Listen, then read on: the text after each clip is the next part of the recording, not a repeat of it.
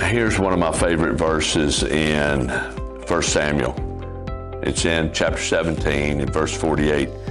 As the Philistine, Goliath, moved closer to attack him, David ran quickly toward the battle line to meet him.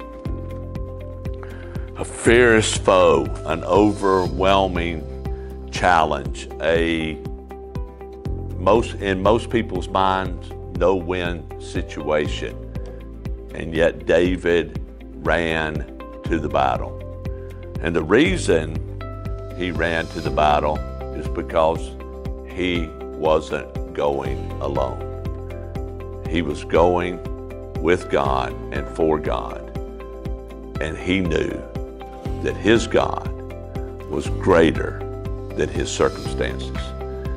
I want to challenge us all to be like David in that we don't shy away from the challenges and the obstacles and the enemy, that we run to the battle line to meet them.